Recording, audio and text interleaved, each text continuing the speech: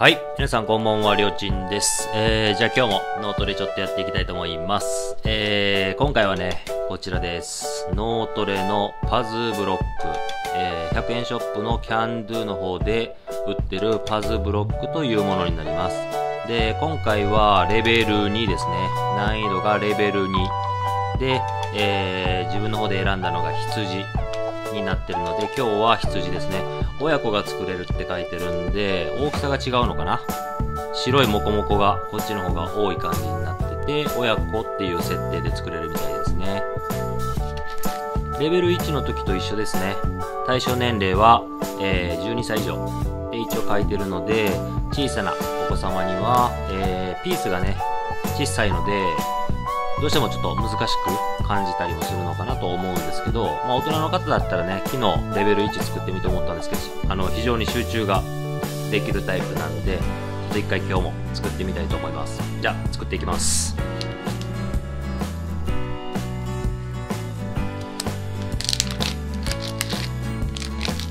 じゃあ、えーレベル2の中身ですね。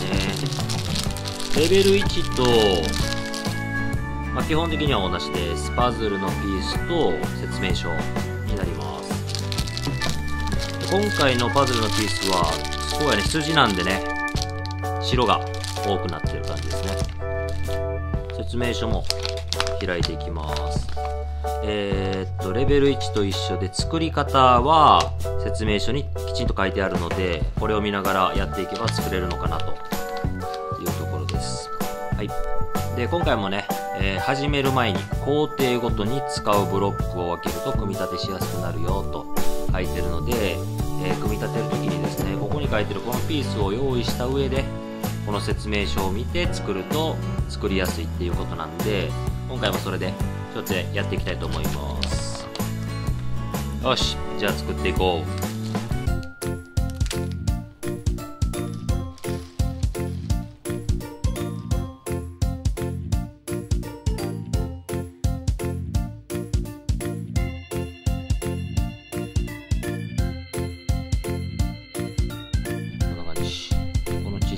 黒い塊を作って、これが頭ですね。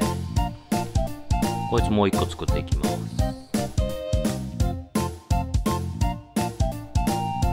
こんな感じかな。二つ目。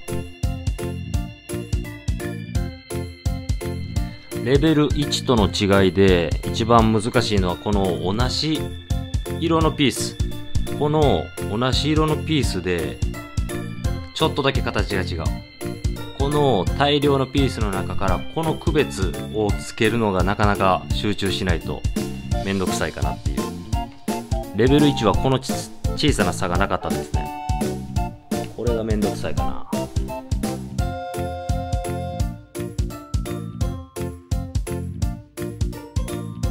これが子羊の子羊の体。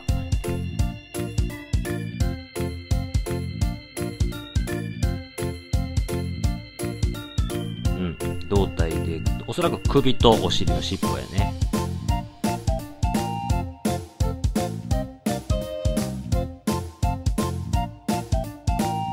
一番下の平らなところから、ちょっと斜めに角度がついてる感じ。足。で、これは角の部分だと思うんで、ここちょっと角度をこういう感じでつける。少しハの字にするって感じ。後ろ側を刺す。で、最後に、最初に作った顔。これをここに刺すと。はい、こんな感じ、完成ですね。子羊の方です。レベル1は、色違いで同じ作りだったんでね、自分で説明書をね、見返しながら作ったっていうとこなんですけど、レベル2は、親羊は、またちょっとデザインが違うっていうところでね、裏面に作り方が一応記載されてるんで、これを見ながら作っていきます。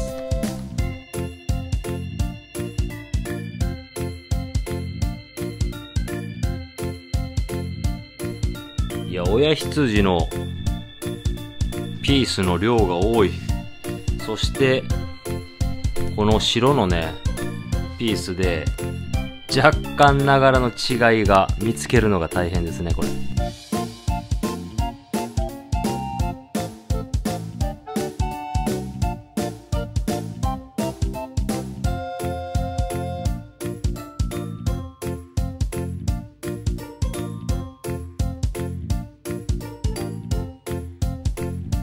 かなか。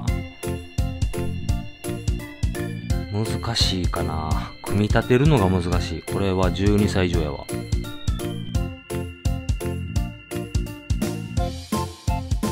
はい。こんな感じやね。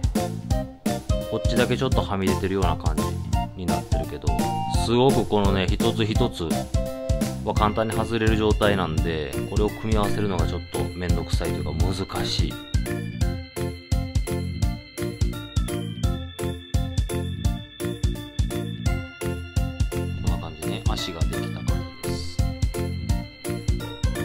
っちはちょっと出てる感じ。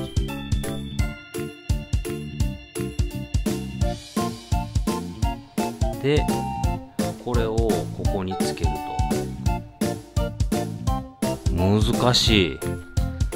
これを入れるのが難しいな。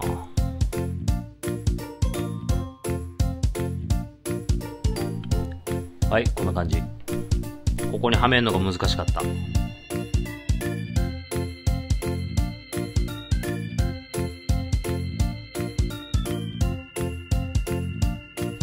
常に細かいですもん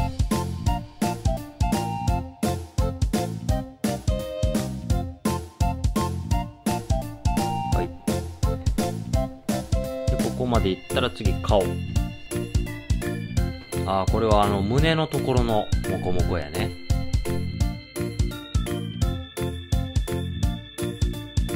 これは尻尾の部分。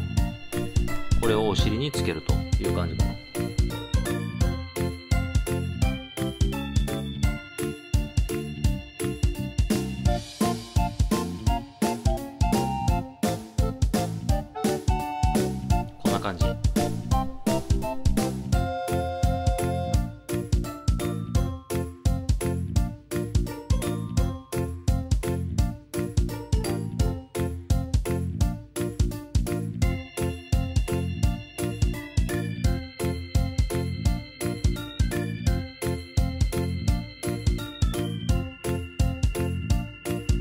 はいちょっと手こずりましたけどね。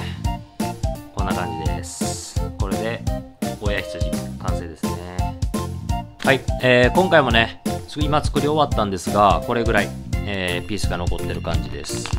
説明書にもやっぱり書いてますね。ブロックは少し多めに入ってますと書いてるんでこれはピース、まあ、なくなった時のね予備に使えばいいのかなと。